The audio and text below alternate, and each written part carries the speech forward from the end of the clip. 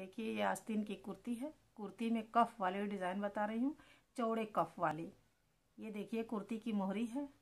ये देखिए, आपकी कुर्ती की मोहरी है। कोई भी कुर्ती ले लीजिए। इसकी देखिए, ये मोहरी है। मोहरी में क्या करना है? आपको जितनी मोहरी बनानी है। मान लीजिए, पाँच बनाना है। हाँ इसमें दो इंच बढ़ा लीजिए। डबल है, इसमें एक इंच बढ़ाएँगी तो डबल दो हो जाएगा। इसमें एक बढ़ा लीजिए। देखिए। ये जो मेरी मोहरी है, पाँच है तो इसको मैं एक इंच इधर से बढ़ाई हूँ, एक इंच इधर। डबल है ये, दो इंच बढ़ गया।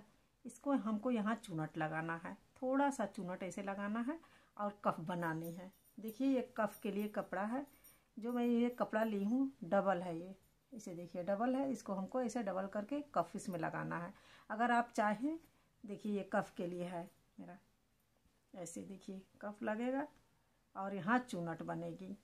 ये देखिए चौड़ी कफ है। अगर आप चाहें तो एक साइड यहाँ बुकरम चिपका सकती हैं, बुकरम। इस पर चिपका सकती हैं और बना सकती हैं। अगर आपको नहीं मर्ज़ी है तो ऐसे भी बना सकती हैं। देखिए, मैं ऐसे बनाकर आपको दिखा रही हूँ कैसे बनाना है। देखिए, ये आस्तीन की मोहरी है। जो एक्स्ट्रा आप कपड़ा रखी हैं, एक इंच, यहाँ से देखिए, ये जो हमारी मोहरी है, पाँच इंच। तो यहाँ से हमको यहाँ एक निशान लगा लेना है। यहाँ पर एक निशान लगा लेना है। यहाँ एक कट कर लीजिए। छोटा सा। और ये बीच है, यहाँ भी। अब इसको हमको क्या करना है, इसे खोलिए, सीधा के तरफ़ से। सीधा के तरफ़ से ऐसे खोलिए। यहाँ जो ये कट लगाए हैं, यहाँ से हमको ये चूनट लगाना है छोटे छोटे दो तीन चूनट लगाना है ऐसे देखिए ऐसे रखिए और ऐसे चूनट लगाइए। देखिए।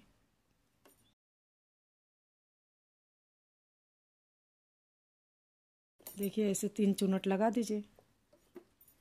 देखिए, ये हो गया। अब हमको क्या करना है? ये देखिए, ये कफ का कपड़ा उठाइए। ये सीधा है। ये देखिए, सीधा है। यहाँ देखिए, बीच सेंटर पर एक कट लगा दीजिए। ये देखिए। अब हमको यहाँ से मिलाना है।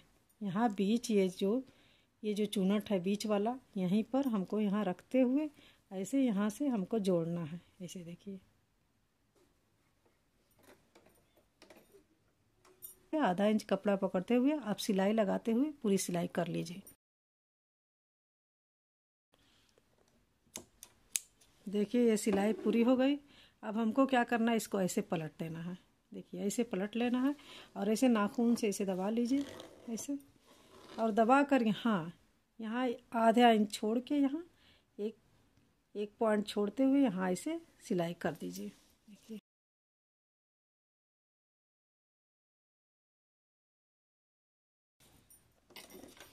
देखिए सिलाई पूरी कंप्लीट हो गई। अब इस पर हमको एक बटन लगाना है, दो बटन लगा देना है। आप भी लगा सकती हैं।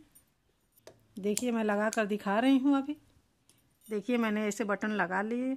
आप भी ऐसे लगा सकती हैं और अपने आस्तीन को खूबसूरत बना सकती हैं। मिलती हूँ अगले वीडियो में।